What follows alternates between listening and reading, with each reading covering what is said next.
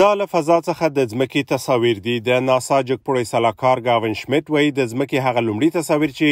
په 1998 کال کې په سپوږمۍ کې د اپولو سپوږمکۍ د ښکته کېدو پر مهال لیدل شوي وو د تغییر وړ وو تمه ده چې سږکال زهرجن غازونه له دې امله زیات شي چې نړۍ له کرونا ویروس څخه د وتلو په حال کې ده او اقتصادي فعالیتونه بیرته پیل شوي دي په پاریس کې د دولتونو ترمنځ د نړیوال انرژي د ایجنسۍ د ورستي راپور په حواله کېدای شي چې سږکال د انرژي مرتبط 1.15 میلیارد متریک ټنه کاربن ډای اکساید غازونه زیات شي سږکال دغه غازونه د کورونا ویروس له امله کم وو د نړیوال انرژي د ایجنسۍ په وینا دا به په 2008 او 2009 کال کې له نړیوال مړیکر کیج را وروسته په یوه کال کې د زهرجنو ګازونو دویم پراخ زیاتوالی وي. شمیت چې د ځمکې له ورځې وړاندې خبرې کولې خبرداری ورکړ چې اقلیمي بدلونونه د توپانونو، پراخو اورلګیدنو او د بحرونو د سطحې د لوړیدو لامل کیږي. د اقلیم بدلون په مختلفو لارو سره پر سمندري توپانونو اغېز کوي. داسې ښکاري چې د توپانونو فصل اوږدېږي، ځکه د زهرجنو ګازونو د زیاتوالي له امله په سمندرونو او اتلانتیک سمندر کې د اوږد مهال لپاره د تودوخې درجه ګرمه وي.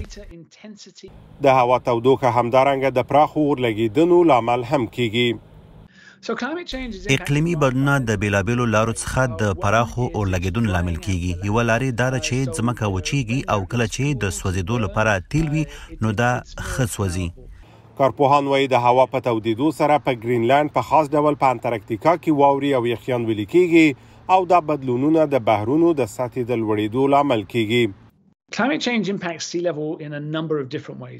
اقلیمي بدلونونه له څو لارو څخه د سمندرونو پر سطحې تاثیر کولای شي. لومړۍ او ساده لارې چې پرې پوهېدلی شو هغه دا ده لکه څنګه چې ځمکه تودېږي، بحرونه دا ګرمي جذبوي او دا د اوبو د سطحې د لوړېدو لامل کېږي. همدارنګه په ګرمېدو سره ستر کنګلونه هم ویلي کېږي. په غرنیو سیمو کې کنګل ویلي کېږي، یخچالونه کمېږي او ټولې اوبه له بحرونو سره یو ځای کېږي.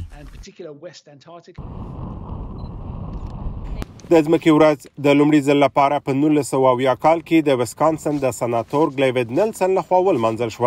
چې د چاپیریال ساتنې د وغورځنګ او د چاپیریال ساتنې د ایجنسۍ او د اوبو هوا او لګیدونو په برخه کې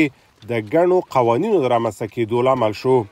سکال د ځمکې ورځ د امریکا د جمهور رئیس جو بایدن په کوربتوب په یوې انلاین غونډه کې ولمانځل شوه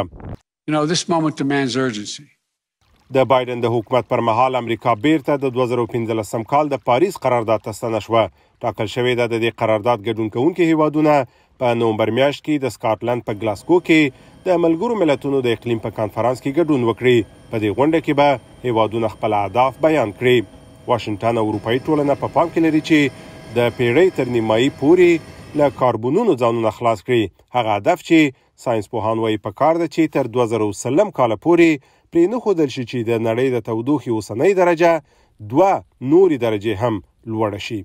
سمیع الله جلالزی د امریکا غږ